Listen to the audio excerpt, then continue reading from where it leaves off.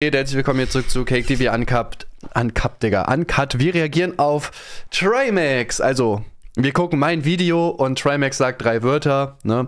Bibi endlich mit dem Statement nach, mit einem Statement nach all der Zeit. Mein Video geht 12 Minuten, seine Reaction geht 15. Das heißt, wir können jetzt wirklich drei Minuten noch hören, was Trimax hier zu sagen hat. Oh Leute, Trimax hier, wir reagieren auf das nächste Video ich weiß von nicht, Bibi. warum das immer Bibi so laut zerstört ist. sich selber und klaut meinen Job. Da kamen ja keine Statements oder irgendwas so groß. Das macht sie ja nie, deswegen bin ich jetzt gespannt. Nee, Bianca heißt sie jetzt. Jo, Freunde der Schönheitspaläste. Ich habe ja in der Vergangenheit immer mal Videos über Bibis Beauty Palace erstellt. Mein Favorit ist das über das Babyphone. Morgen, es wird Zeit, schnell steh auf. Morgen, es wird Zeit.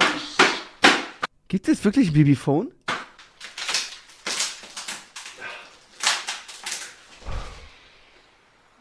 Und keine Sorge, das iPad war schon vorher kaputt, weil, ja, ich habe mal bei Hearthstone verloren. Aber es war auch wirklich unfair. Ja, Digga, die Niederlage war wirklich, also so viel Glück hatte der Gegner noch nie. Und mein iPad hatte noch nie so wenig Glück. Nachdem sich Bibi vor zwei Jahren von Julienko Der getrennt Slowchat hat, soll gar Bro, nicht drin sein. einfach zwei Jahre.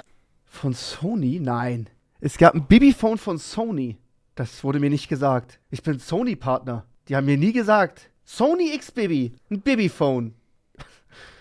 Her ist, was zur Hölle, ist sie erstmal für eineinhalb Jahre von der Bildfläche verschwunden. Jetzt ist sie wieder da und wirkt wie ein komplett neuer wie Mensch. mit dem Auf einmal umarmt sie Bäume, macht Reels zu veganen Rezepten, wo ich wünschte, dass ich der Löffel wäre.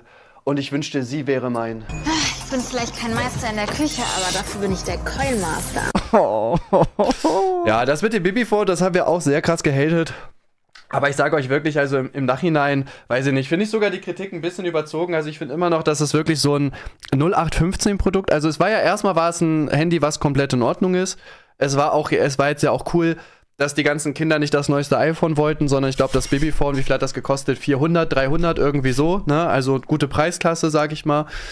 Ähm, hat mich persönlich nur ein bisschen enttäuscht, weil Babyphone, ja, war halt, also da war jetzt nicht so viel mit Bibi, ne? Da waren halt ein paar kleine Videos drauf, da waren halt ein paar Weckerklingeltöne, ähm, Töne für Nachrichten, wenn du die bekommst. Und ja, das hatte halt, das sah halt hinten, hinten war halt Bibi drauf. Hätte man meiner Meinung nach halt viel mehr machen können, aber ey, ist halt bestimmt cool gewesen für die Leute, die Bibi gefeiert haben. Wie gesagt, das war jetzt auch kein überteuertes Handy oder so. Ne, wenn die jetzt das iPhone 18X oder so mit Bibi-Variante für 3000 Euro rausgehauen hätten, ne, dann hätte man sagen können, ja, okay, das geht halt gar nicht. Na, aber das ähm, Sony Aqua, glaube ich, irgendwas oder so, ne, ist ja, ist okay.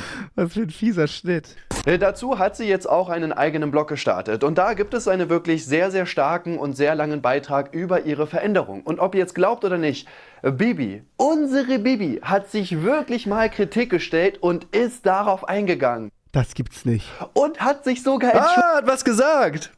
Was geht hier, Digga? 2024. Am Anfang Das sie, Babyphone haben sich meine Eltern sie, kennengelernt. dass sie völlig gefangen in der Welt des Konsums gewesen ist. Sie wollte immer mehr, mehr Luxus, mehr Statussymbole und natürlich mehr Geld. Porsche Panamera, der Hammer!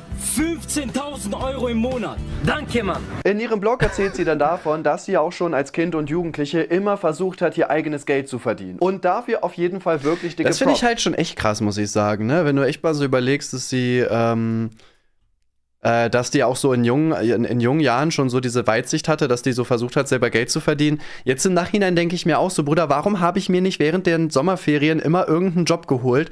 Da wirst du gar nicht so schlecht bezahlt, ne? Also, keine Ahnung, ab wann darf man arbeiten? Ab 14 oder so? Wenn du das vier Jahre machst, immer ein paar hundert Euro, Digga, schnapp gemacht. Das wäre einfach, das wäre mehr, als ich sonst im Jahr zur Verfügung gehabt hätte. Aber ich war faul und habe lieber den ganzen Tag gezockt.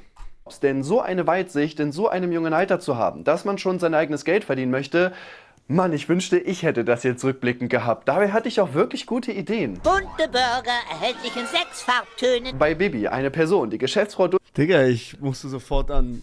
Das war doch das letzte Feature in, in Brawl Stars mit der Burgerpalette. Die war doch voll OP. Holy shit, ich kann nicht mehr Spongebob gucken, ohne an Brawl Stars zu denken, die Schweine. durch und durch ist, Ja, also die richtigen OGs haben Zeitungen ausgetragen, haben fünf Zeitungen davon ausgetragen, den Rest in verschiedene Mülleimer geworfen, haben auf der Parkbank gechillt, an, an ihrer Elfbar gezogen, zwei Stunden und sind dann nach Hause gefahren. das wahrscheinlich aber eher so aus. Also was, jetzt gehen wir von Tür zu Tür und verteilen kostenlose Kopien? Kostenlos? Bist du jetzt völlig durchgeknallt? Wir können sie für 10 Dollar das Stück verkaufen und ordentlich Geld scheffeln, während eine neue Welle von Antisemitismus über das Land fegt. Also jetzt nicht eins zu eins genauso. In ihrem Blog schreibt sie dann Drawn Together, Alter, ewig nicht mehr gesehen. weiter, dass es hier vor allem um eine Sache in der Social Media Welt geht und zwar das Konkurrenzdenken. Aber und hast du nicht erzählt, deine Familie ist, äh, hat Hartz IV bezogen? Äh, wenn du Ferienjob gemacht hättest, würde dir sehr viel abgezogen werden. Ach so, ja gut, aber man kann das ja auch schwarz. Nein, nicht mal. Ja, klar, also es wäre mir abgezogen worden, so safe. Das äh, ist halt das Doofe, deswegen habe ich es auch nicht gemacht. Ja, ich sag mal, selbst, naja, also wir hatten auch nicht immer Hartz IV, ne? Ähm, Jetzt nicht mein, mein ganzes Ding. Meine Mutter hat auch schon, schon oft gearbeitet. Ne? So, ist es, äh, so ist es jetzt nicht. Ne? Aber zum Beispiel auch mal eine Weiterbildung gemacht, was dann zwei, drei Jahre geht, ne? wo du dann kein Geld verdient hast und so. Ja, in der Zeit wäre es natürlich doof gewesen. Ne? Aber ja, bei meinem FSJ zum Beispiel musste ich auch, ich habe ja, da- das finde ich halt immer noch dreist, Digga. Und so bleiben auch arme Leute einfach arm. Ich habe, glaube ich, ähm, von meinem FSJ habe ich 300, ich glaube 312 Euro im Monat bekommen. Also dafür, dass du jeden Tag acht Stunden da arbeitest. So, und kommt mir auch nicht mit, ja, aber es ist ja freiwillig, Bruder. Du bist da trotzdem acht Stunden am Tag und hast einen Stundenlohn von zwei Euro, Digga. Das ist Sklaverei. Das ist einfach nur Sklaverei. Und dann wurde mir dieses Geld auch noch angerechnet und ich musste meine Mutter 100 Euro geben, weil wir dann 100 Euro weniger im Monat hatten. Das muss man sich mal überlegen. Also mit 300 Euro kannst du dir sowieso schon nichts aufbauen im Leben. So, aber dann ziehen die einen noch 100 Euro ab, sodass ich auch gar nicht die Möglichkeit habe, mal Geld zur Seite zu legen, um, keine Ahnung, das von mir aus auch in Bildung oder so zu investieren. Hätte ich jetzt nicht gemacht, ne? Aber das wäre ja eine Möglichkeit gewesen. Es ist schon, äh, Digga, der Staat, der immense Erfolgsdruck. Jeder will immer der Beste sein. Man will sich von der besten Seite zeigen, man will besser als die anderen sein und immer dem aktuellen Schönheitsideal entsprechen. Außer man ist Curve Maria. Ebenfalls sagt sie dann, dass sie irgendwann in eine Spirale geraten ist, wo sie halt nicht mehr rausgekommen ist. Denn irgendwann hatte sie ja nicht mehr nur Verantwortung für sich selber, sondern auch beispielsweise für ihren Manager, für Geschäftspartner und Co. Und sie hatte keine Möglichkeit, einfach aufzuhören. Denn die haben sich ja darauf verlassen, dass es bei Bibi immer weitergeht. Und gerade den nächsten Abschnitt finde ich hier persönlich sehr, sehr stark. Da geht es nämlich darum, Äh, neue Anzeigen gerade gesagt im Stream, Volksverhetzung und Verleugnung kommen auf dich zu. Ja, ich habe gerade mal geguckt, also Volksverhetzung verjährt nach spätestens fünf Jahren. Und wenn sie das meint, was ich vor acht Jahren in meinen Videos gesagt habe, ja, sie müsste halt Mathe können, ne? Oder denken. Ja, okay, dann soll sie es machen. dass der ganze Content sie extrem mitgenommen hat. Shell, Dankeschön für zum Beispiel bedeutet für sie nicht, dass man mal so ein bisschen entspannt von zu Hause arbeitet, denn ihr Content war ja einfach ihr komplettes Leben. Sie hatte irgendwann gar kein Privatleben mehr, weil jeder Moment im Leben direkt für Social Media genutzt wurde. Als Beispiel hat sie hier einen Abendspaziergang im Sonnenuntergang am Meer beschrieben. Anstatt diesen Moment einfach zu genießen, hat sie natürlich sofort ihr Handy rausgezuckt und es wurden 500 Stories gemacht. Und hierbei darf man noch eine Sache nicht vergessen. Ihr damaliger Mann Jojenko hat dazu ja auch noch exakt den gleichen Content gemacht. Bedeutet also, dass wenn die irgendwie unterwegs gewesen sind, dann musste Aber hat das nicht jeder Influencer? man quasi immer das Doppelte an Videos und Stories machen, damit auch beide Content für ihre Social Media Kanäle hatten. Und hier kann ich sie tatsächlich komplett verstehen. Ich glaube, wenn du über Jahre nur noch für Social Media lebst und nicht mehr für dich privat, sondern du bei jedem Moment denkst, boah, kann ich da jetzt Content draus machen, eine Story oder ein Video, dann macht dich das im Leben, glaube ich, irgendwann kaputt. Vollkommen egal, wie erfolgreich du bist. Das ist vielleicht auch ein Statement, was sich gerade die Familienblogger, die die ganze Zeit ihre Kinder vor die Kamera stellen, mal ein bisschen zu Herzen nehmen sollten. Sich das allerdings einzugestehen und dann so detailliert in diesem Blog zu beschreiben, Trimax wirkt sehr verwirrt, ja, ich glaube, der kann mir mal nicht folgen. Ja, aber ich, ich kann da Bibi auf jeden Fall tatsächlich schon nachvollziehen, ne? So Geld, also Geld ist natürlich schon immer geil, gar keine Frage, aber ich glaube, irgendwann merkt man halt auch so, dass halt das Leben irgendwie auch so an einem vorbeizieht, ne? Also wenn du wirklich alles immer nur, nur Content machst und so, ne, gerade mit, mit Julienko noch an der Seite, also die mussten ja quasi immer alles doppelt drehen, ne? Die haben ja damals immer einen Kanal für ihren, äh, ein Video für ihren Kanal, ein Video für den anderen Kanal gemacht. Das glaube ich ist auf Dauer schon, geht das schon an die Substanz auf jeden Fall. Von Bibi allerdings auch sehr, sehr stark. Auch im nächsten Absatz schreibt sie dann, dass sie Selbstzweifel, Unzufriedenheit Ja, Leute, ich hab's, ich hab's jetzt verstanden. Ja, Shoyoka redet über mich. Wir werden uns das alle zeitlich angucken. Jetzt geht mal aus ihrem Stream raus, hört auf zu hate-watchen und seid einfach hier dabei. Äh, ihr könnt ab jetzt alles, ähm, ihr könnt ab jetzt alles äh, timeouten, bitte, wo über Shoyokas Stream geredet wird an jemals. Ja, wir sind jetzt, wir haben hier heute mal jetzt einen normalen Stream. Es bringt mir auch nichts jetzt äh, die ganze Zeit zu lesen, was sie sagt. Was soll ich jetzt damit?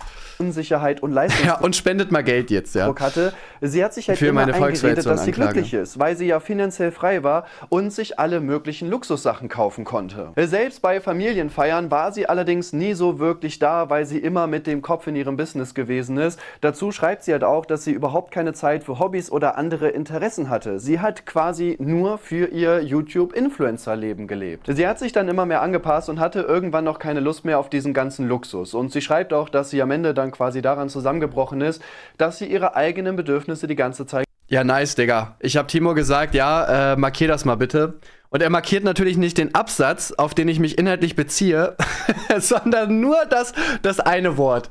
Ah, ja, da steht zusammenbrachen. Ja, okay. Geleugnet hat. Danke. Und ich muss sagen, dass ich diese Umstellung tatsächlich komplett nachvollziehen kann. Natürlich, in den ersten Jahren ist es immer cool, die Zahlen werden größer, du verdienst super viel Geld. Die haben ja auch ein unfassbar heftiges Haus mit 40 Metern Einbauschränke. 40 Metern. Aber irgendwann merkt man natürlich, dass dich das nicht mehr glücklich macht. Denn irgendwann bist du frei und du musst es halt nicht mehr machen und du merkst halt, jo, also irgendwie genieße ich mein Leben überhaupt nicht. Danach entschuldigt sie sich sogar noch für eine Kooperation. Und zwar die, die sie damals für Shein Oh, ich dachte Coinmaster. gemacht hat. Und dazu schreibt sie folgendes. Ich möchte mich dafür entschuldigen, dass ich unkritisch Kooperationen mit Partnern wie Shein eingegangen bin. Ich möchte mich dafür entschuldigen, dass ich in Kauf genommen habe, für Marken zu werben, denen vorgeworfen wurde, Kinderarbeit zu unterstützen und Menschen unter menschenunwürdigen Bedingungen beschäftigt zu haben. Ich möchte mich dafür entschuldigen, dass ich die Hintergründe solcher Marken nicht ausreichend hinterfragt Ist überhaupt irgendein Motier? Ja, Quentin, mach mal, äh, fix mal so eine Nachricht an, dass jeder, der über Shioka redet, äh, getimeoutet wird. Also der über ihren Stream jetzt redet. Weiß. Also nichts gegen euch, ne? Ich finde es ja cool, dass ihr mich auch auf dem Laufenden halten wollt und so, aber es nervt im Chat halt wirklich irgendwann, weil wir gucken uns jetzt halt was anderes an. Und jetzt äh, die ganze Zeit dann ähm, darauf hingewiesen zu werden, was halt gesagt wird, das, also es bringt mir halt nichts. So, wir gucken uns das ja eh an. Und dann werde ich halt dazu mein Statement abgeben und dann werden wir uns über die Pointe lustig machen.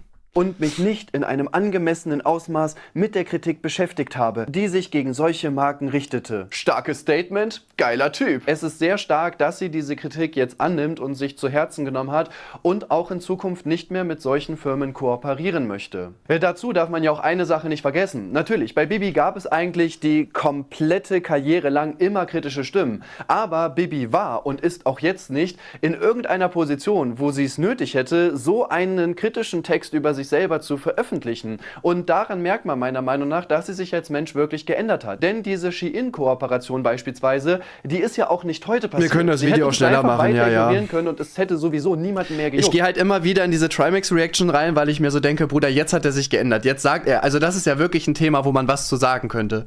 Man könnte seine eigenen Erfahrungen schildern, wie sieht man das selber so, er ist ja auch, auch eher sehr erfolgreich. Ja, aber Trimax läuft mal wieder auf, äh, auf Ruhemodus. Und da finde ich es sehr cool, dass sie sogar noch mal auf so eine alte Sache eingegangen ist. Und ja, vor allem, er sieht, er sieht halt auch echt immer so aus, als wenn er so gar nicht weiß, was abgeht. Digga, so saß ich die ganze Zeit im, im Englischunterricht. dafür gerade gemacht hat. Diese Entschuldigung, so wie sie geschrieben wurde, ist halt wirklich Das stimmt. Lieber spät als nie. Bibi hat sich ja nie zu irgendwas Kritischem geäußert. Jemals, oder? eine absolute Eins. Also da können sich andere Influencer wirklich mal eine Scheibe von abschneiden. Allerdings steht sie jetzt tatsächlich auch wieder wegen einer Trimax Sache in einfach der ein Kritik. Ist Da ist auch gar kein Stream. Trimax hat einfach nur ein Bild von sich da reingemacht und, und verkauft das als Reaction. nicht der größte Kritikpunkt, ich möchte das aber trotzdem mit in dieses Video einnehmen. Und zwar hat sie einen Podcast mit ihrem neuen Freund Timothy Hill gestartet mit dem Namen Sin Safari. Und den gibt es exklusiv auf deren eigenen dafür erstellten Homepage. Allerdings natürlich nicht kostenlos, sondern man muss 4 Euro im Monat dafür zahlen. Dafür bekommt man dann drei Podcasts im Monat plus einen Livestream. Dafür gab es natürlich einiges an Kritik, denn viele Leute können es nicht nachvollziehen, warum man den nicht einfach kostenlos anbietet, sondern man in einem Abo-Modell 4 Euro im Monat dafür zahlen muss. Und Bibi hat dafür auch ein Statement auf Instagram gepostet. Sie schreibt unter anderem, dass man auf Spotify und Co. zwar nichts bezahlen muss, aber der Konsument dafür mit tonnenweise Werbung überschüttet wird und dass es ja legitim ist, dass sie mit ihrem Wissen, ihrer Zeit und ihrem Geld, was sie da rein investieren, auch was zurückbekommen Er kopiert Dort- immer dieselben drei Overlays auf random YouTube-Videos. Ja, und er hält sich auch bei dem, was er zu den Videos sagt, immer sehr allgemein, sodass es auf jedes Video passt. Hier gibt es halt zwei Optionen bei Spotify. Entweder einen direkten Vertrag oder einen Vertrag mit einem Drittunternehmen, der dann entweder selber Werbungen reinschaltet oder man die Werbungen selber vorher aufnimmt und dann halt mit reintut. Wir hatten beides. Wir waren zuerst ein Spotify Exclusive und jetzt sind wir mit Drittanbietern dabei. Und mit beiden Optionen kann man sehr viel Geld verdienen. Sie sagt, dass sie komplett unabhängig und frei bleiben möchte und es auf der Seite keinerlei Werbung gibt und man quasi eine geschlossene Community hat von Leuten, die sich wirklich dafür interessieren. Das Also, Bibi könnte dumm viel Kohle machen mit dem Spotify-Podcast oder mit einem eigenen Podcast auf allen Plattformen. also, ja, das, also, das verstehe ich jetzt nicht. Dazu schreibt sie dann noch, dass sie zwar Ja, ja, offline und ehrlich bald auch im Abo-Modell. Äh, Zehner im Monat nehmen wir. Aber es kommt auch nur noch eine Folge im Monat. sehr viel Geld verdient hat, aber sie natürlich auch weiter Geld verdienen darf und ja jeder die eigene Entscheidung treffen muss, ob er sich diesen Podcast kaufen möchte oder nicht. Ach ja, und ganz wichtig, das wurde mehrfach angemerkt in den Kommentaren, umsonst schreibt man zusammen. Ja, und viele von euch haben seit Seitfehler. Ich kann sie hier tatsächlich auch komplett nachvollziehen. Natürlich Digga, darf sie ich weiter liebe Fire Golden Clips. Geld Ne? verdienen und Warum sind immer wieder Clips von Firehoden drin? What the fuck? Macht er noch Videos? Das soll sie auch machen. Wäre ja dumm, wenn sie sagt, so, ab jetzt mache ich alles nur noch kostenlos. Allerdings muss man hier auch sagen, dass viele Kosten, die sie da aufgezählt hat, ja nur entstehen, weil sie das auf ihrer eigenen Homepage hochladen. So Dinge wie Serverkosten oder einen Kundenservice bräuchte man ja nicht, wenn der einfach auf YouTube Ja, und eine Website-Betreuung bräuchte man auch nicht, ne?